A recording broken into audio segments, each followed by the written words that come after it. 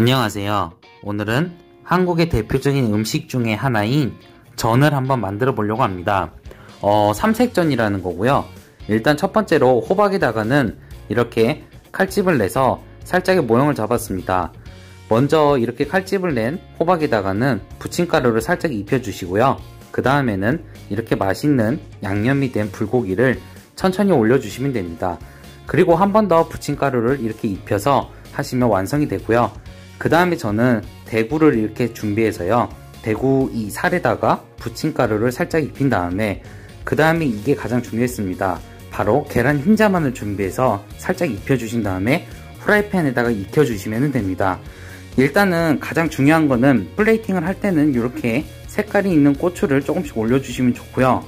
그리고 가장 약한 불에서 대구의 살이 완전히 익었을 때 뒤집어 주시는 것을 추천드립니다.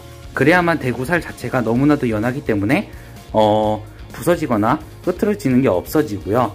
그 다음에 아까 전에 만들어 놓은 호박에는 이렇게 계란을 입혀 가지고 어, 프라이팬 위에다가 천천히 익혀 주시면 됩니다. 여기서도 가장 중요한 점은 바로 이 고기를 항상 먼저 익혀 주신 다음에 뒷면인 호박을 익혀 주시는 게 가장 좋습니다. 그 이유는 고기가 상대적으로 호박보다는 더 늦게 익기 때문이거든요.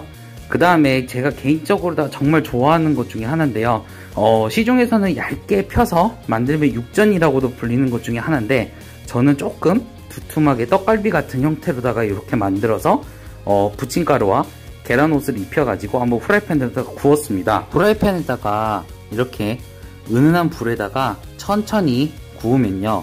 고기 자체의 식감도 좋고 그 다음에 고기에서 그 은은하게 올라오는 그 냄새 자체가 너무나도 좋았던 것 같고요. 개인적으로다가는 조금 손이 가고 번거롭지만 그래도 한 번쯤은 이렇게 모양을 이쁘게 잡아서 요리를 해보는 것도 괜찮다고 생각이 들었습니다. 이제 요 호박 같은 경우에도 모양 자체가 정말 이뻤고요. 대구살 같은 경우에도 계란 흰자만을 이용해서 만들었기 때문에 plating을 하기에도 상당히 괜찮았고 그 다음 요거 소고기 같은 경우에도 굉장히 quality가 좋아 보였습니다. 그리고 마지막으로다가는 이제 접시에다가 plating을 하나씩 이쁘게 담아봤는데요. 개인적으로다가 색깔 자체가 삼색전이라는 느낌이 상당히 많이 들었고 모양도 이쁘고 quality도 좋아서 한 번쯤 가정에서 해보는 걸 추천드립니다.